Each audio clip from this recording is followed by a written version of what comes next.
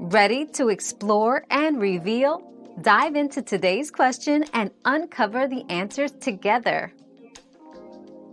Immediately contact your bank to report the incorrect mobile number.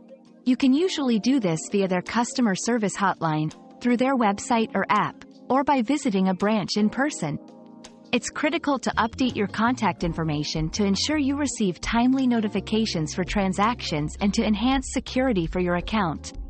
Follow the bank's procedure for such updates, which may require you to provide identification or fill out forms to process the change. Our quest for knowledge never ends. Thanks for being part of today's discovery.